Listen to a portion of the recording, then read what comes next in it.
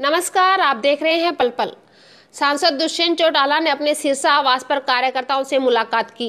इस दौरान दुष्यंत चौटाला मीडिया से रूबरू हुए और कहा कि जेजेपी के संगठन की प्रक्रिया जारी है और 28 फरवरी तक जिला स्तर के संगठन की प्रक्रिया पूरी कर ली जाएगी।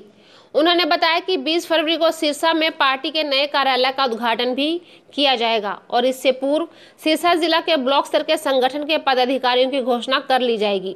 दुष्यंत चौटाला ने कहा कि पार्टी के प्रचार प्रसार के लिए 13 फरवरी से विधायक नैना चौटाला का कालावली हल्के का दौरा शुरू होगा और सिरसा के सभी विधानसभाओं का दौरा भी किया जाएगा।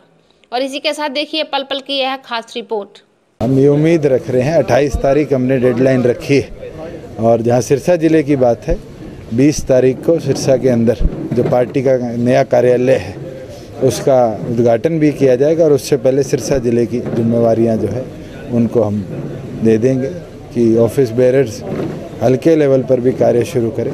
इसके साथ श्रीमती नैना चौटाला जी के भी, काड़ावाड़ी के, डवाड़ी के और साथ के साथ बचे तीन हल्कों के भी प्रोग्राम्स चॉकआउट कर दिए गए हैं कि जल्द से जल्द गाँव लेवल पर भी जो आज कांग्रेस बीजेपी को छोड़कर लोग ज्वाइन करना चाहते हैं उनका भी हम जल्द से जल्द स्वागत करें तेरह तारीख का कालावाड़ी का है चौदह का डवाली है।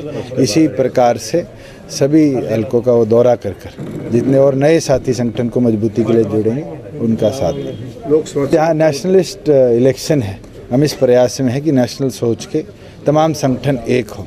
और फिर एक कॉम्प्रोमाइज़ कलेक्टिव एक डिसीज़न लिया जाए जिसके अंदर सारों की सोच को मिलाकर नेशनल एजेंडा सेट किया जाए। एक रीजनल पार्टी पूरे देश के लिए एजेंडा सेट नहीं कर सकती।